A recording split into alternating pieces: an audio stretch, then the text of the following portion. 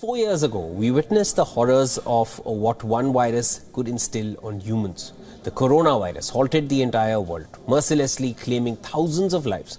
It took massive global measures to contain it. Vaccines were developed rapidly to halt its spread, and still the world is reeling from the lingering effects of COVID 19. Now, that was the story of just one virus, and its fatality rate was not more than 4%. Now, what would happen if the world faces an even deadlier strain of unknown virus? Or worse, many more such viruses that lie hidden deep within the permafrost. Permafrost is a permanently frozen layer on or under the Earth's surface. It consists of soil, gravel, and sand, usually bound together by ice. The soil beneath has been kept at below zero temperatures for hundreds of thousands of years. But due to climate change, the permafrost is melting in Canada, Siberia, and Alaska.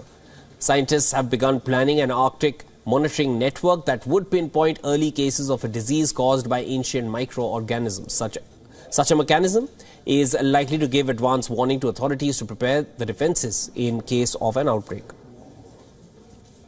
Scientists believe that permafrost at its deepest levels may contain viruses that are up to a million years old, and if they awaken, they can unleash catastrophic consequences.